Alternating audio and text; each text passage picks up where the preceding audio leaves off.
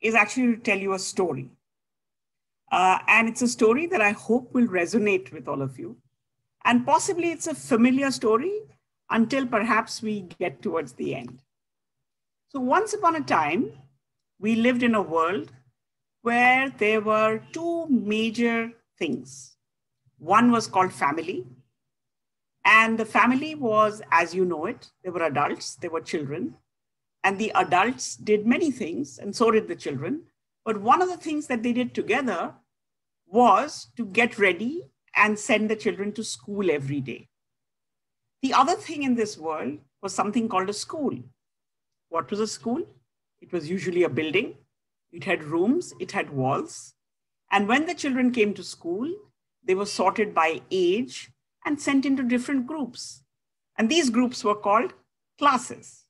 For each class, there was another adult, an adult who was usually called a teacher, and she led the children through the day in a number of activities, usually called lessons. The children and the teacher used books. Each of these groups had a separate book, and they were expected to know what was inside the book. There was a bell that indicated that you could now shift from one book to the next. And at the end of the day, there was another bell that enabled you to go home. And at the end of some months or end of the year, the children usually did something called a test or an exam. And then following that, they moved into the next class. So this is the way the world worked. And over a period of time across the world, many, many children, and soon most children, were going to this thing called the school. Now, as we are listening to the story, this seems like quite an ideal situation and familiar with all of us. But even at that time, if you looked a little bit closely, particularly a little bit closely at schools and children in countries like India, you would see that uh, while schooling was going very well, in terms of what the children were doing in school, there was still quite a lot to be done.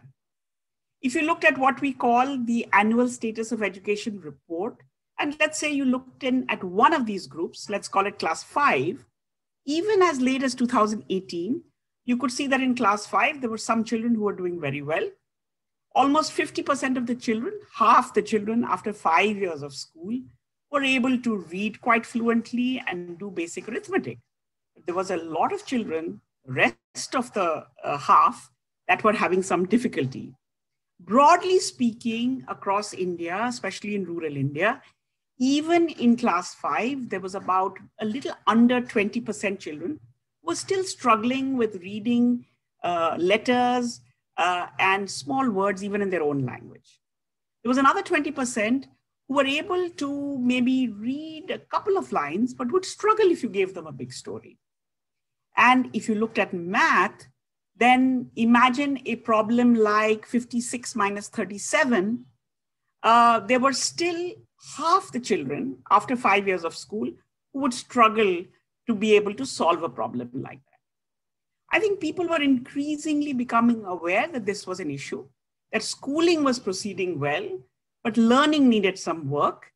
And, uh, you know, whether it was in the family or whether it was in the school, we were all stuck trying to balance the needs of these different children.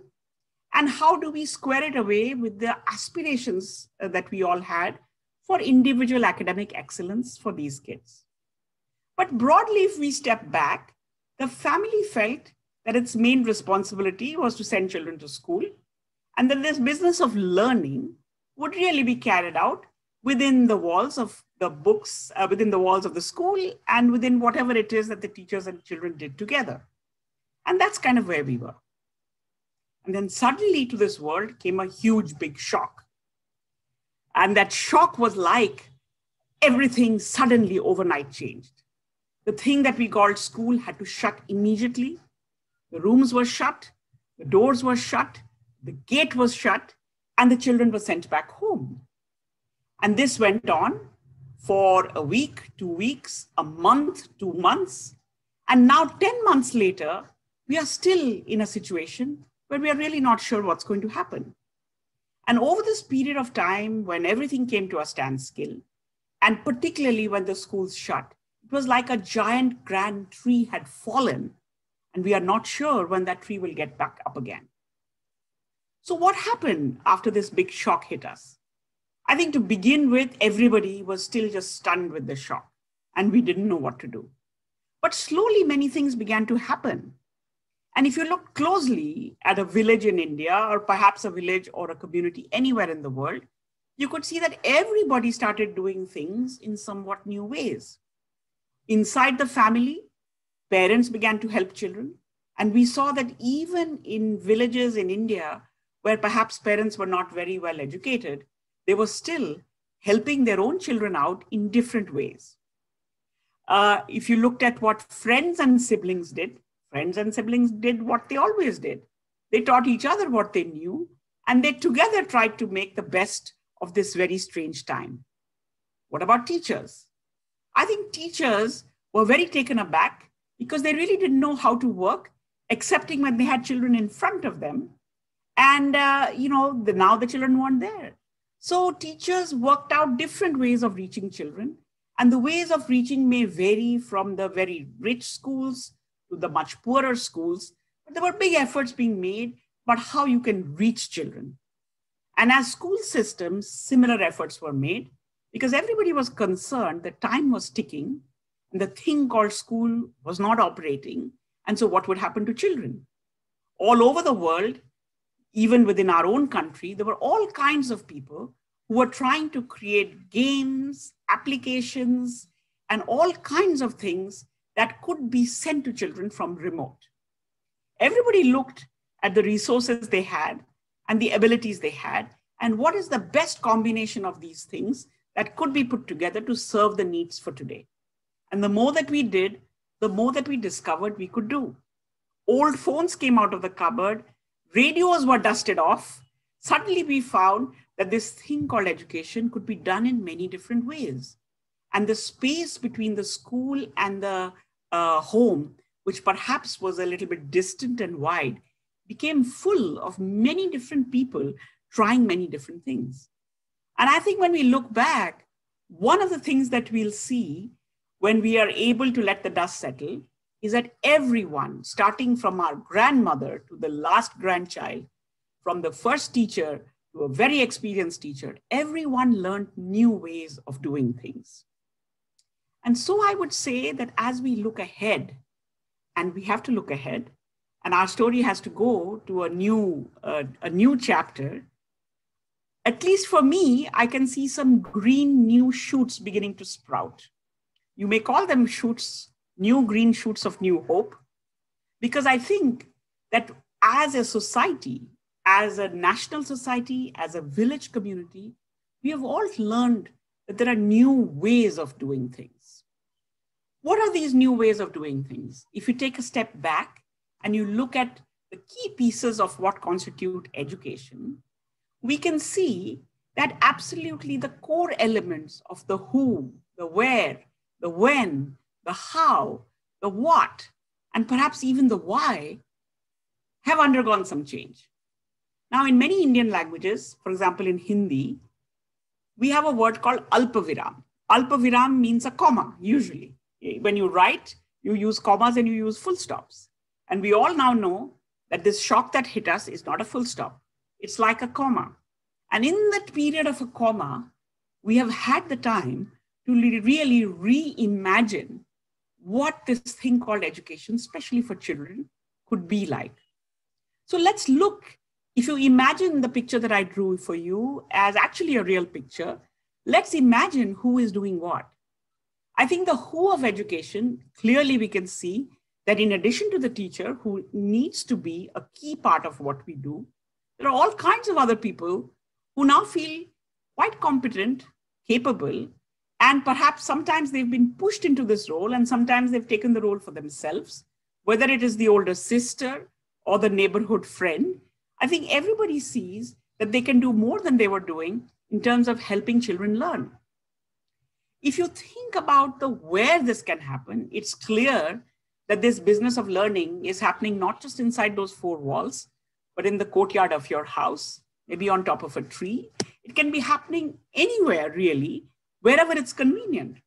When lessons come through your father's phone and father only comes home late at night, then that's when you take what you, you have in his phone and try to do it. If messages come on your mother's little Nokia phone, then you take the phone from her when she's able to share it with you.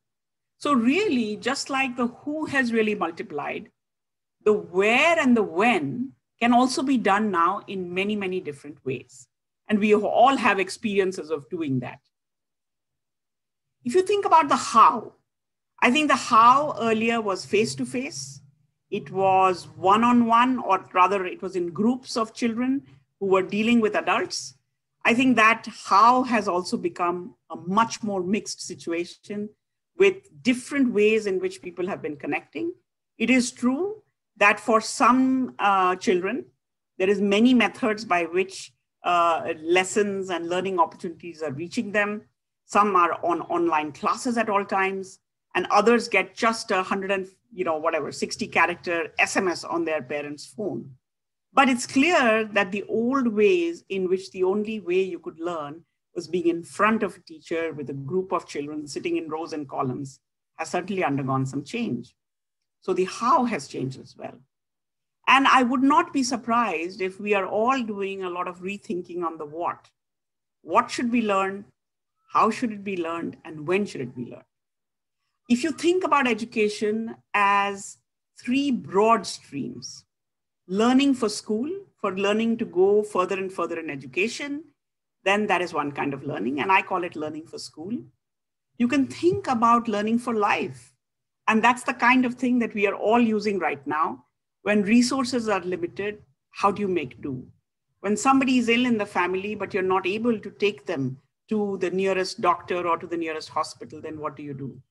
When money has finished and yet you have to survive, what do you do?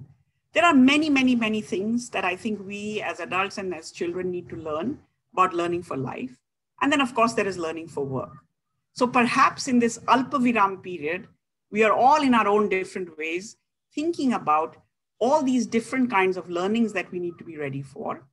And also thinking that this individual academic excellence mode, where we are checked off during tests or exams to certify that we've learned, really also under, needs to undergo quite a lot of change.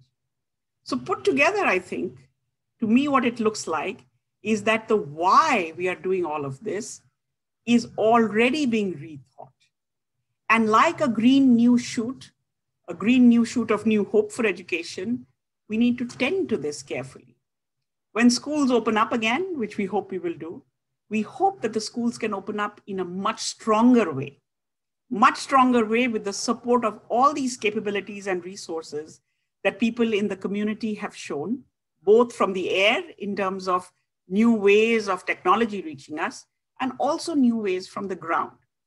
And therefore, I think that as we get ready to face the future, we have many things we need to do, but I'd like to leave you with three major pieces.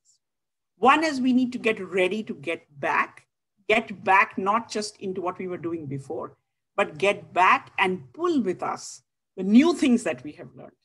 This is true for a child who will enter standard one. This will also be true for somebody who's going to sit for their 12th standard exams not very uh, far from now. The second is that we need to connect with each other. There has been in this big shock period, you know, ways in which we haven't met our friends, our teachers, and many others in our life. So within school, we need time to connect back to each other and connect back with all the experiences that we've had.